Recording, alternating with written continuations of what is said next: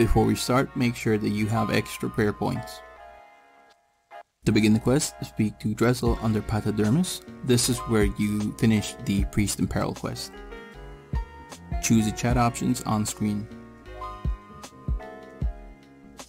Exit the temple through the southern door.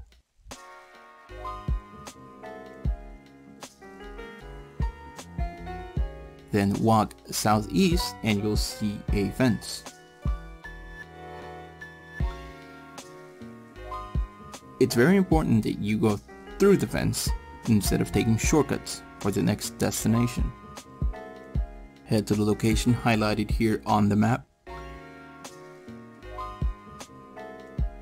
Jump across the small bridge. Take the washing bowl off the table, then the mirror, and then search the grotto to obtain a journal. Equip the Ghost Speak amulet and attempt to enter the grotto. Chat options on screen. Now head back to Drezel. And have Drezel bless you.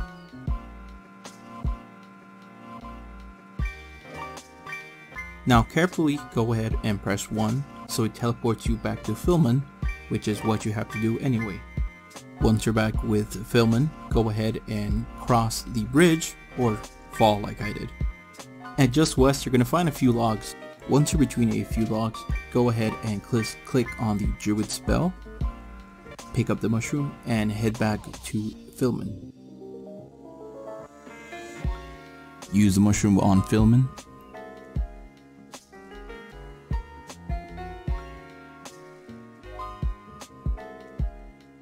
Follow what I do or just use the instructions on screen now.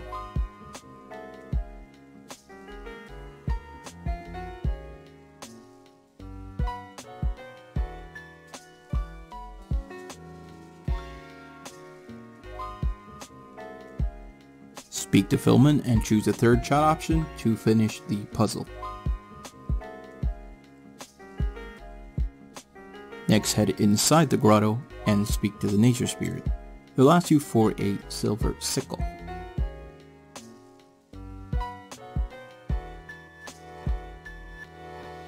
If you have the silver sickle with you, just go ahead and give him the item.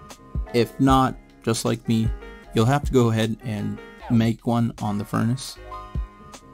When you're done making one, if that's what you have to do, it'll be easier if you head to Drezel at the Paterdomus Temple and he'll teleport you to Filliman once again.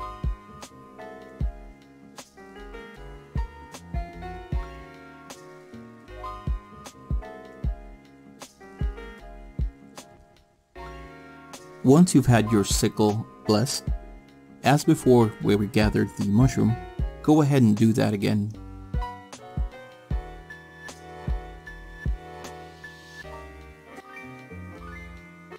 obtain 3 mushrooms, use them on the pouch, then head directly to any ghosts nearby. The pouch will reveal him, go ahead and slay 3 ghosts.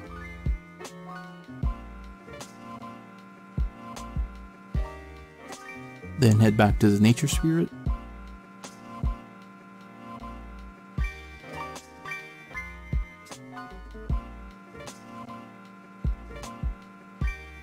and quest complete.